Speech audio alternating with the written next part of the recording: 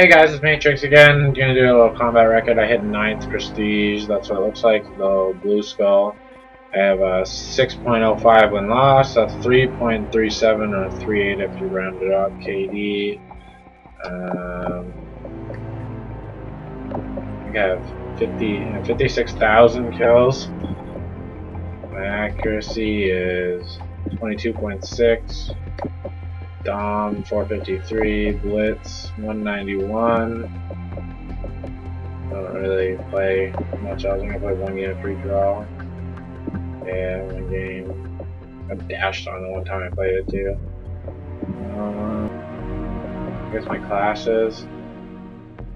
Got this is what I've been using lately. It's uh, I use the same class on all all my guns. It's been Ready Up Sleight of Hand, Stalker, Amplify, Resilience, Focus. And I start with Deadeye. And then I unlock Scavenger. I don't know, I really don't have a problem getting to Scavenger usually. Got pretty good accuracy, so my bullets all count. I want Hardline, and then my bonus is Quick Draw, Takedown, Blind Eye, and Dead Silence. I seem to be dying a lot from people using Oracles, so I figured it would be a good idea to throw on some blind eyes to keep me out of that shit. And the AK, I haven't touched the AK class over yet, or the LMG, interesting.